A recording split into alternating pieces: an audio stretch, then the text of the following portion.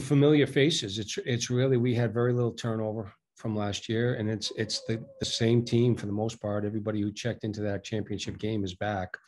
Uh, we were fortunate that that uh, Jesus Cruz and two, Taj Benning, two of our really good leaders and good players, decided to return when the NCAA granted an extra year because of COVID.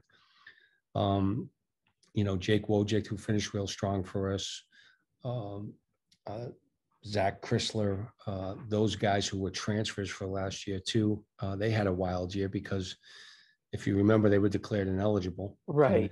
They missed, I don't know, six or seven games, whatever it was, and then they were declared eligible. So um, just a lot of twists and turns. But yeah, it's it's the same roster.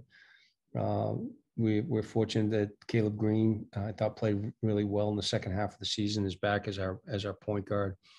Taj, I mentioned, Jake Wojcik, uh, Chris Maidoh was able. He was not in that championship run with us because of an injury, and he's been able to put on 15 pounds. So he's he looks good and is playing well. And I think the biggest jump from from any of our guys has been from Supreme Cook, who uh, really put him in an awful position last year. I think he practiced six days before our opener and had to start against Providence. So he's he's been practicing and uh, looking good. So we, are really returning. You know, I could go right down the list. We're returning everybody, and um, you know, I thought we had a good eight weeks during the summer, and guys got better. So so you know, we're going to continue on that theme of just kind of getting better every single day.